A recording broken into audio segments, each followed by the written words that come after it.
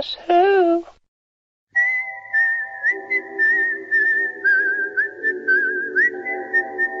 Watch the video. Watch it.